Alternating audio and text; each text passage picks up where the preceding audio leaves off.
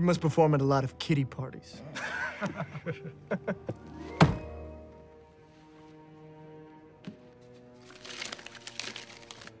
Name a card.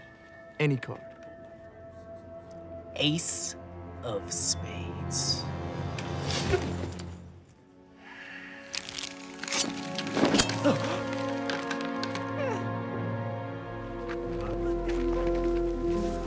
Well, if it isn't the cowboy.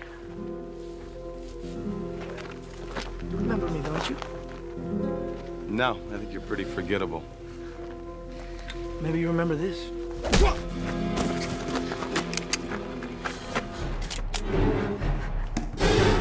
No, no, don't kill me, please. You made an oath No, please, don't. till death. I'm Simon Valencia. Um, I missed you this morning when you were being introduced. I didn't miss you. Nobody actually told me you were here. Well, nice to meet you now.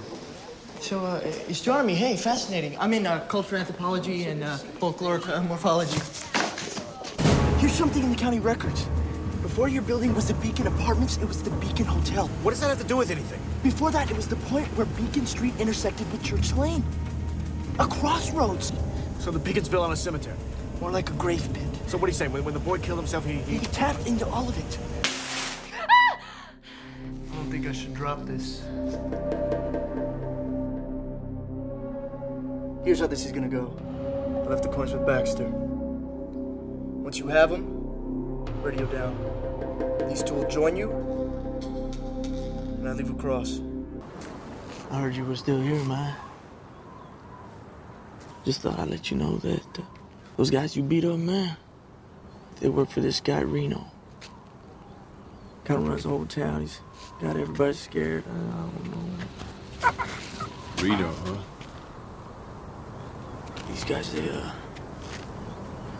they drowned somebody in the river. I could get in a lot of trouble. Well, then we have to be really careful. I don't know. I mean, you want to help me, don't you? Yeah, but I tell you what. Thanks for having my back. yeah, no problem. I mean it. Someone could get in a lot of trouble for stealing drugs. Don't worry, I got your back too. I know you stole those samples. Perks of being a doc, right? Don't worry. Your secret's safe with me.